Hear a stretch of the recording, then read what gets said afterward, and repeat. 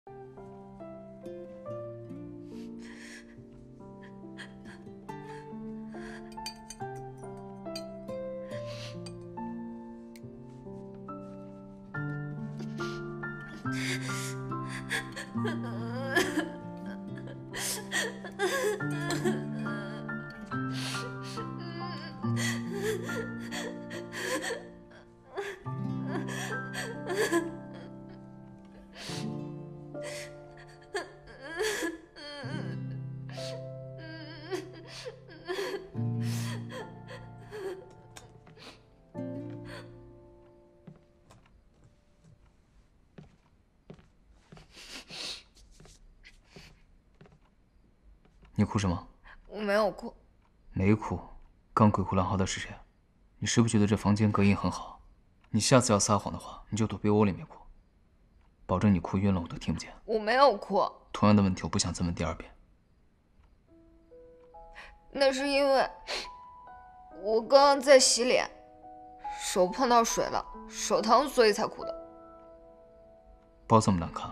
你试试一只手，你能包的很好看吗？你傻子吗？干嘛不让我帮忙？不用你帮我，我自己可以帮。我有点痛。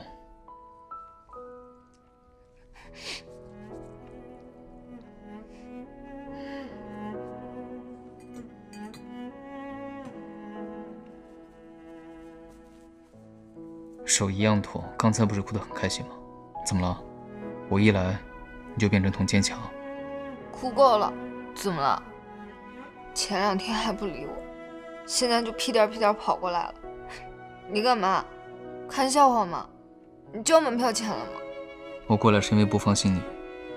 想让我走的话，你要么别哭，要么就把耳朵捅了。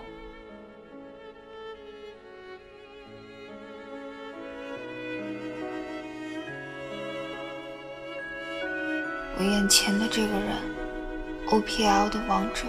粉丝心中的神，难道真的是我一点点把他拽下神坛的吗？我真的是在为了他好吗？忍一下，马上就好了。我是不是真的做错了？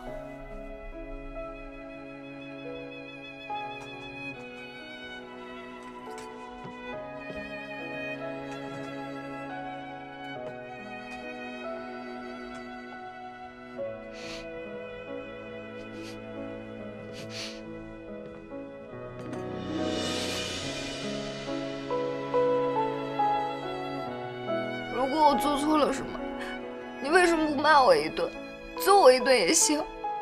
不让我上场，只让我打训练赛，每场比赛坐冷板凳都可以。你为什么从头到尾你都不说一句话？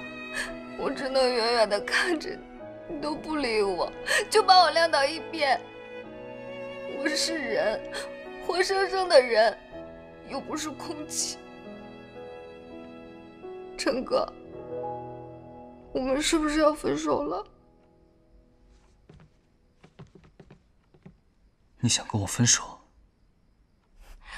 因为我做的不够好，让你哭了，你就要跟我说分手吗？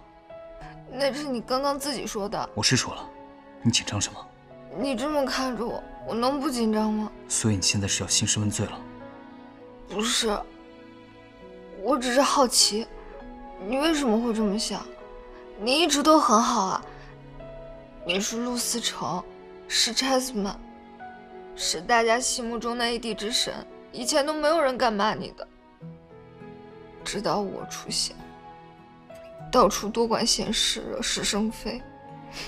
如果有一个麻烦精，那一定是我。我就好奇你为什么会这么想。我不是想和你分手，只是你前几天都不理我。我就在想，你是不是生我气了，或者说嫌我烦了，所以忍不住才想问你的。如果真的是这样，那至少我要抢先一步把你甩了，这样才没那么丢脸。